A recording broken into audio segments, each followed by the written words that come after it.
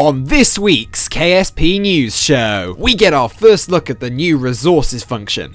But is it what you were expecting? And re-entry heat has been confirmed to be part of 1.0. All that and more on this week's KSP News Show.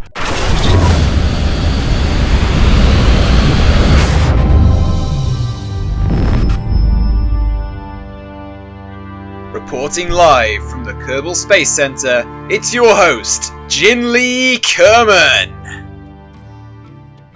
Good morning, evening, and afternoon, my fellow Kerbonauts. My name is Jin Lee Kerman. Welcome back to the KSP News Show.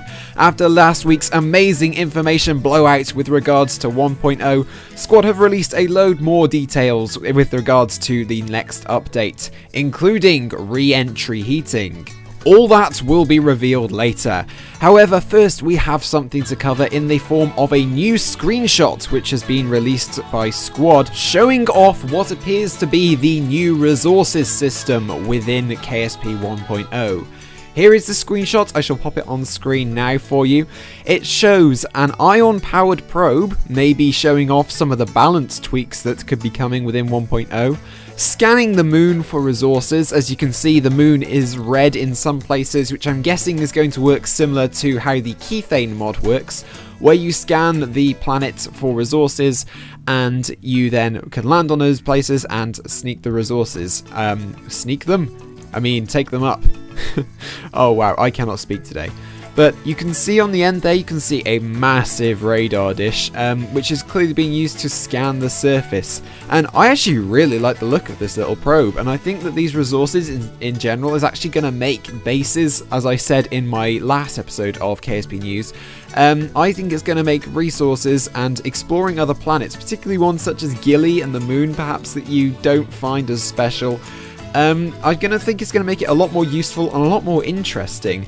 What would make it even more interesting though is if the biomes where these different places, these different amounts of fuel are found, is random every time that you go in and spawn a brand new game. Because let's let's face it, if everyone if everyone who plays Kerbal Space Program goes and then starts scanning the planets, eventually you're going to know where all the resources are. So if this is procedurally generated, which I'm guessing is probably going to be, otherwise that kind of takes the fun out of the scanning and takes the use out of the scanning parts. I can see this being an absolutely amazing and fun addition into the game. But let me know what you guys think. Let me know what you think about this new resources. Obviously this um, little picture here isn't representative of the final product. Um, squad do say that down below underneath the picture. But do let me know, what do you think of this? Do you think it's too similar to the Kethane mod? Do you reckon that we should implement something a little more like Karbonite? I want to know your comments down below. Please do let me know because I always do read the comments. Now, though, on to what you were probably waiting for when you clicked on this video. The atmospheric heat being added into the vanilla version of Kerbal Space Program. This week, or rather last week because of the scheduling of this episode, the dev notes from Mike, otherwise known as MU, read, well, the drag system is all but finished. The change in flight dynamics is fun, but we will require a rebalancing of a number of parts. We will be merging the updated lift dynamics and then hoping to push it to the QA team later this week so they can have a play. I've also been looking at implementing a new re-entry heat system to run alongside. This should be making for more interesting atmospheric experiences. Now, he said that he was only thinking about it, however, this um, this system was confirmed later on down the dev notes by Maxmaps, who says, finalizing the plan for the update, re-entry heat is in, as you have probably already read. Now, I cannot tell you how I don't know I don't know how I feel about this. I think it is I think it makes the game more realistic and I feel I think that's a good thing and I think it's going to be funny watching some um, elements burn up in the atmosphere, such as dead fuel tanks and stuff like that. However, it does mean that the direct descent method, which if any of you have watched any of my Kerbal Space Program missions, um, have seen, or the Evian base for any of you old-time subscribers, if any of you remember that, I used a method called direct descent, where basically you get into the sphere of influence on the planet and you basically just stop yourself in orbit. Not terribly efficient, but it's the fastest way to get yourself down on the planet. And that involved huge amounts of re-entry heating because you're coming down almost vertical um, with regards to the atmosphere. So you're getting all the heating uh, focused onto one point.